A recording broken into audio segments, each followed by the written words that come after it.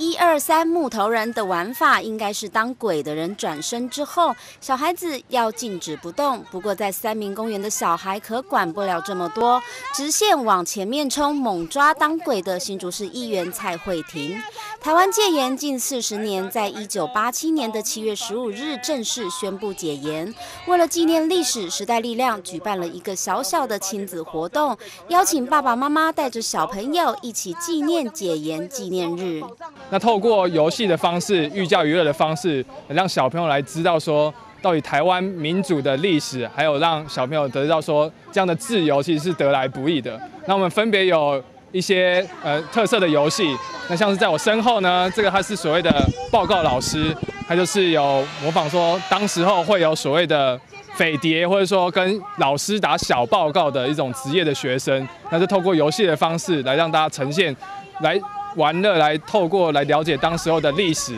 林彦福等人设计了一些关卡，这些关卡可能会限制小朋友们的自由，可能要求他们完成一定条件。小朋友们在游戏的过程中就能够开始体会自由的可贵。好，限制我们人生的自由，让我们知道说，我们现在能有这样的民主的环境是多么的得来不易，我们必须要好好珍惜。哈，所以希望说，让爸爸妈妈可以在这样子的活动中教育我们下一代。哦，就是七月十五、三十二，呃，解严的三十二周年，在这边办一个大家都可以参加活动，好，让我们的新竹市民，啊，也可以一同互相的了解这样。小朋友在游戏中玩得开心，爸妈也跟着亲轻松。虽然他们不一定真正了解沉重的历史价值，但也没关系，只要他们健康快乐的长大，就是所有父母的心愿。开破新竹林彦斌采访报道。